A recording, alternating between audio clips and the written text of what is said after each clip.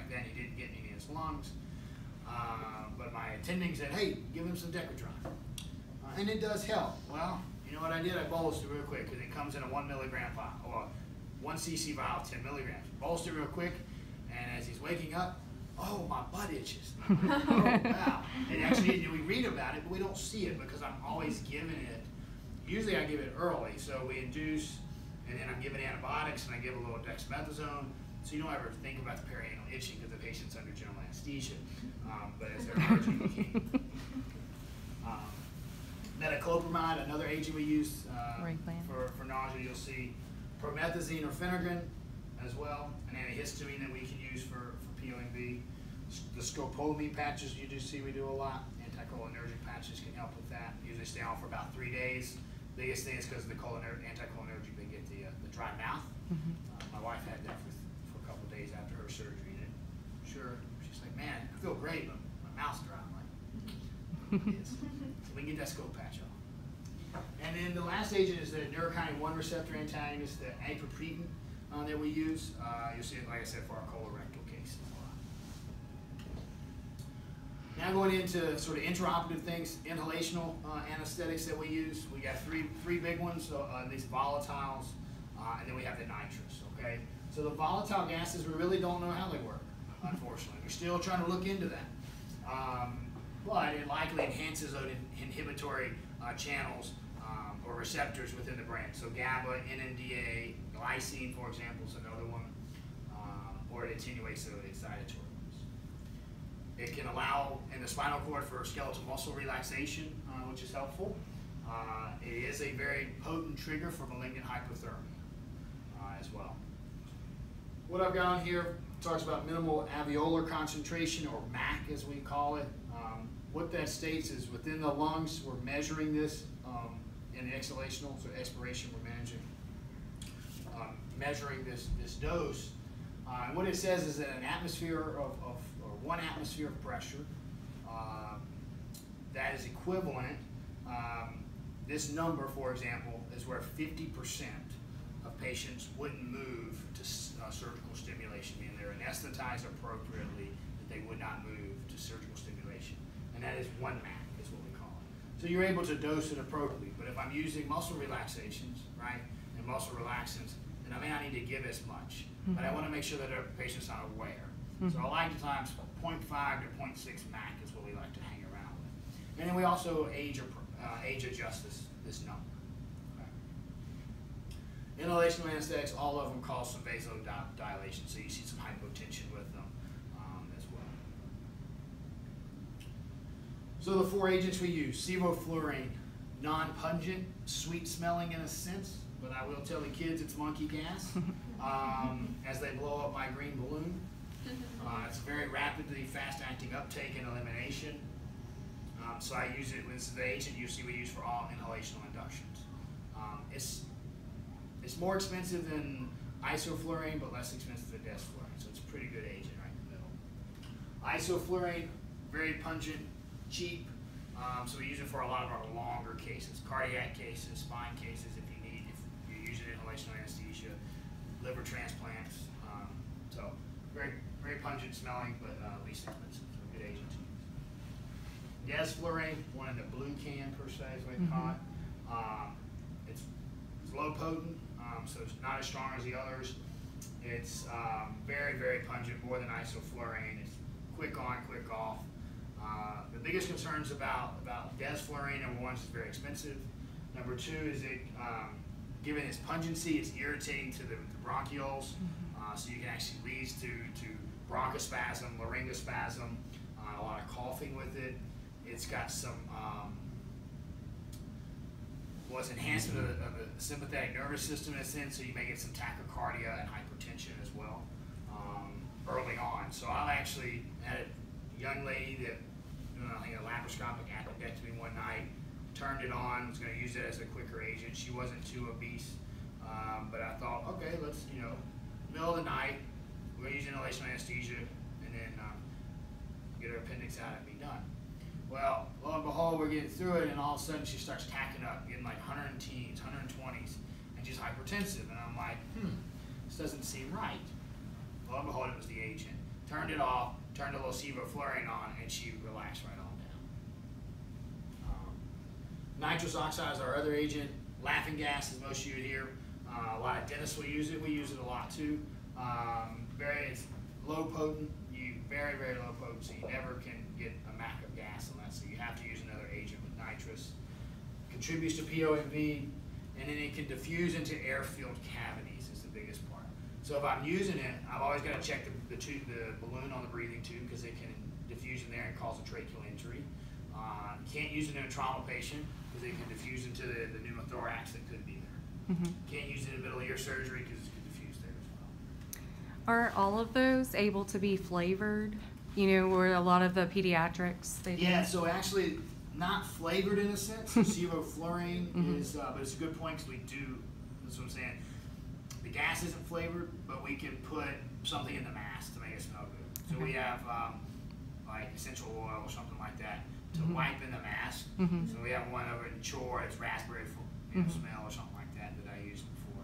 A lot of times, especially kids, Mhm. um, thing is when we do a mask induction is, in a sense, bite the bullet, let's go to sleep real quick because it's so rapid. Mhm. Um, but we will sometimes put them, put a little smell in there if they're Mhm. talking to you and things like that. Yeah, I know. Um, I'm, my children have had surgery, and Yeah. they were excited to pick their flavor. Yes. So. well, so we do. A lot of times it depends on the age. If they're willing Right. to tell me, hey, I like, can I pick my flavor or things, Mhm. sure, I'll offer it to them. Mhm. You know, at the end of the day, every every anesthetic Right. is, is tailored to that patient. Mhm. So we go from there. Uh, IV fluids, okay, we all use those. It is a medication, just like even oxygen is a medication. Um, biggest, you know, couple three that we use around here, lactated ringers. Uh, it's a balanced salt solution. Uh, I enjoy that as my, my fluid um, choice usually. Um, normal saline or sodium chloride at 0.9% uh, is another agent. I tend to use that just for my neurosurgical patients. Uh, and the reason is because they try to limit the, the flux um, uh, of fluids in and out, so the swelling of cerebral edema. And that's due, and I put on there 154 milliequivalents of sodium and 154 milliequivalents of chloride. So that's where it can, uh, you try to get that appropriate balance. Because, right, our most sodiums in our body is 140, right? Mhm. Normal is 135 to 145 Mhm. milliequivalents. So try to get in that range. The sodium level of lactated ringers is 130. So it's less than normal, then you can get water will then go with the, the higher concentration of milliequivalents. So therefore, it can cause cerebral edema. So you tend to use sodium chloride in, in the brain patients. Okay. If you're resuscitating with sodium chloride, you can get a uh, hyperchloremic, meaning elevated chloride levels and causing a metabolic acidosis. Tend to use that if I'm resuscitating. Septic patients, trauma patients, try to use LR or blood products. I use. Albumin is one of our colloid solutions, meaning it's got the albumin of protein within it. Um, use it as a volume expander as those proteins allow to stay in the intravascular volume a little longer. I put down here this maintenance calculation. Uh, we use it to try to count to calculate what the, the um, volume per hour I need to give a patient. So this, we call it the 421 rule. So for the first 10 kilograms of someone, you get 4 cc's per kilo. For the second 10 kilos, four, 2 cc's per kilo. And then for the remaining greater than 20 kilos, 1 cc per kilo.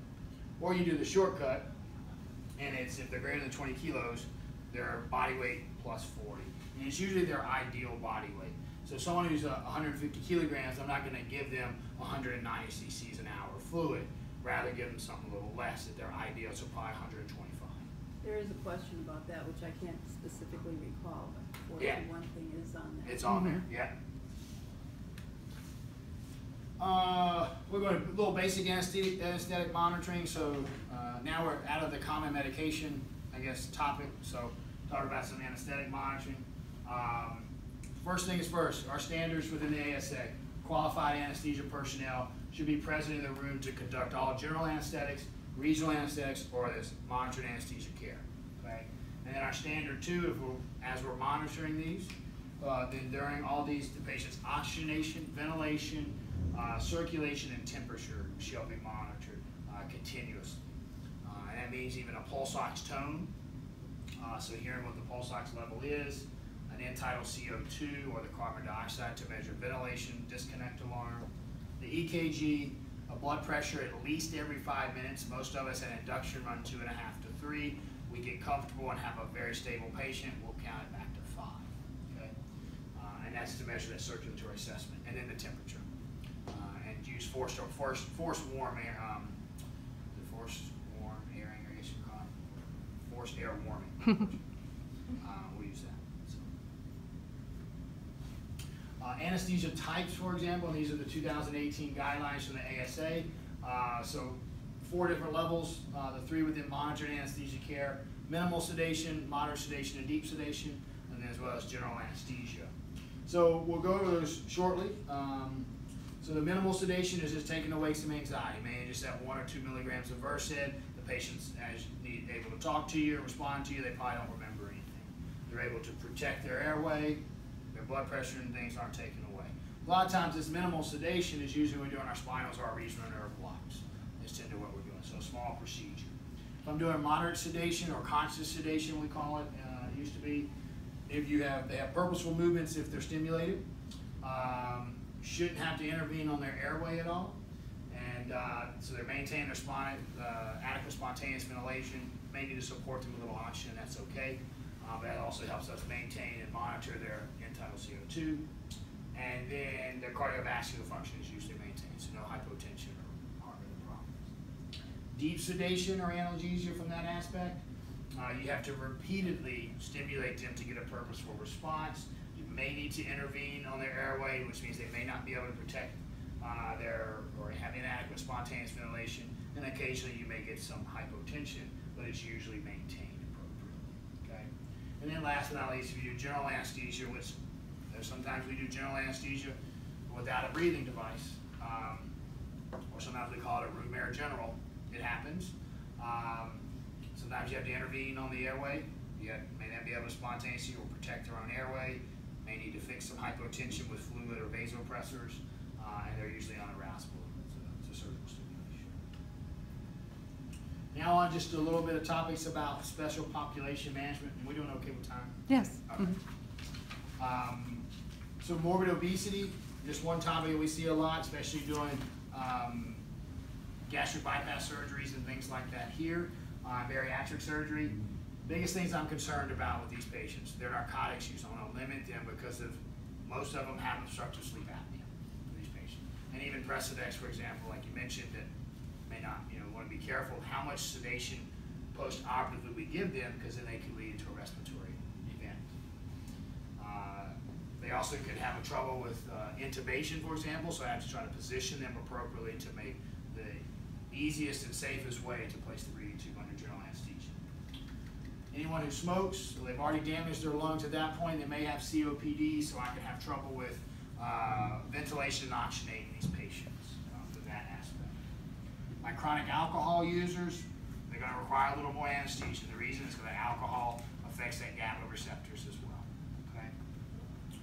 Uh, opioid users, if they're on chronic, even if they're on a five milligram of oxycodone, or the patients who um, have used heroin the other day, or unfortunately on a, a pain management program, they're going to require uh, adjustments in their in their medications. Okay, if they're on a buprenorphine, we have some recommendations now to try to wean them off appropriately, um, because what's happened is more or less they're they're using their mu receptors, so now they're already soaked up, and I can't treat anymore. So we have to think of other pain options. Does that mean using ketamine, magnesium to hit at those NMDA, Precedex, the NMDA receptor as well.